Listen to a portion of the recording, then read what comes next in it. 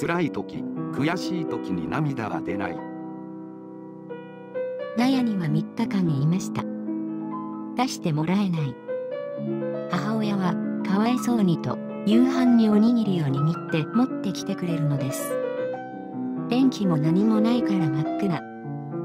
奥の方にいるのはお蚕がいるか牛がいるかです。少し明るくなったらそこで宿題をやって学校に行くときはお迎えに一級上の仲のいい友達がいて迎えに来るので行ってきますと言いますが行ってらっしゃいでも行っておいででもなかったです。自分としてはそういう生活にも慣れていました。今の子供たちみたいに親から何かなかったらメソメソするなどという時代ではなかったのです。涙は見せてはいけないという親の教えがありましたからけど夜は怖かった。寝るのは藁にくるまってです。牛は家族みたいなものですから心強かったのですが口は聞いてくれない。父から出ていいよと言われるまでそこにいないといけないと思い込んでいましたので真っ暗闇の中の一人ぽっちというのが怖くて歯を食いしばって頑張っていました。絶対に泣くまいと思ってお蚕の小さい時というのは柔らかい桑の葉をやらないといけないのです。一番柔らかい新芽をお蚕の上に1枚ずつ並べるのです。その納屋で私が手伝ってあげるとも何とも言わずにですよ。自然と体が動いて一緒に手伝っていた時に母が涙を流していたのを2回ほど見たのでした。何があったのかは分かりませんが母親は涙を流している姿を普段は見せないです。今の私でも辛い時は涙は出ませんね。悔しいと思って泣いたことはないです。嬉しい時はボロボロ涙が出ますが。和文タイピスト。そんなことがあり母も元気になってまた元の生活に戻れるようになってから私も学校を中途で辞めて何としても姉二人がいた。東京に行き何かに挑戦したいと思いました。というのは父に内緒で勝手に私が学校を出たら親戚の人と一緒にさせようとしていたのです。田舎ですから昔は親同士で決めてしまうことはよくあったのです。それが私は嫌でした。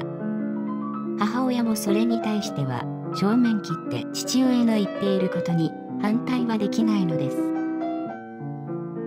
学校は山形市内でした。下宿していたところで母親にだけ相談。母親も牛乳の件もあったりしてお前が行きたいのだったら行ってもいいと父親に内緒で東京に送り出してくれました。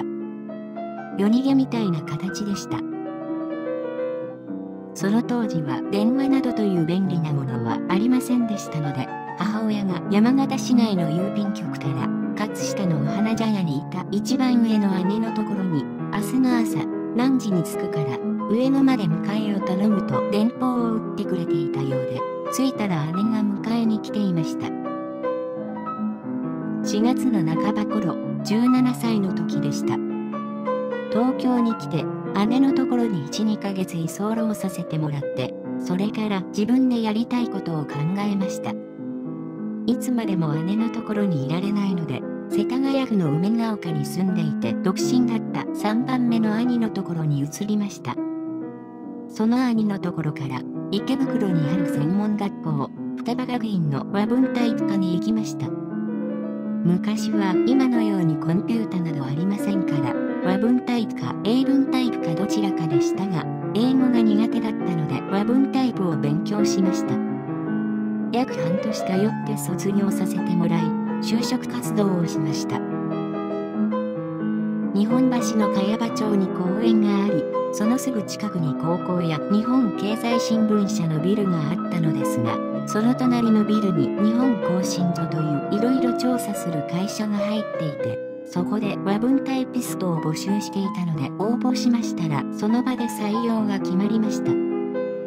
梅ヶ丘から茅場町まで通勤することになり、その会社で約1年勤めて後、派遣として出された先が衆議院議員会館です。その頃の議事録は、今のようにパソコンではなく、議事録を取る人がアラビア文字のように書いたものを訳して、それを和文タイプで打って議事録としてまとめ、各議員さんに配るのです。約1年8ヶ月くらい、その仕事に携わりました。原点は後ずさりはしない。本当に私の原点はそこにあるかなと思います。何に対しても後ずさりはしない。前へ前へと前向きに教えられたということが一番大きい基本的なことかなというふうに振り返っています。可愛がってもらっていた父親に怒られる私はまだまだその仕事をしていたかったのですが、少し複雑になりますが、2番目の姉の旦那さんと今の私の主人の2番目の姉の旦那さんが双子だったのです。自分には弟がいる、自分には妹がいるというので、また姉たちが勝手に話し合ってしまって、どうだ、いっぱい見合いしてみないかと。またそれも嫌でした。私はまだ勤めたいし、仕事していたかったので、ちょっと田舎に帰りたいと言って、一旦実家に帰りました。実家に帰るという名目ならば、お互い傷をつけないでいいかなと思ったのです。帰ったら、ひどく父親に怒られました。初めて出て行ってしまった時も、勝手に出したということで、かなり母親が父親から言葉で怒られたと言います。末っ子ですから、やはり自分のそばに置きたかったのでしょうか。勝手に親戚と年頃になったら一緒にさせようと決めていたのだと私は感じてはおりましたが、そんなこと何も知らなかったので、勝手に親が決めたことだからと、父親に対して一番の反逆児でした。可愛がってももらいましたが、昔は父親に反抗などできない親の言いなりになるのが普通の親子でした。それでも、母親はそのように私に協力してくれましたから、父親にも反抗的な行動が起こせたのです。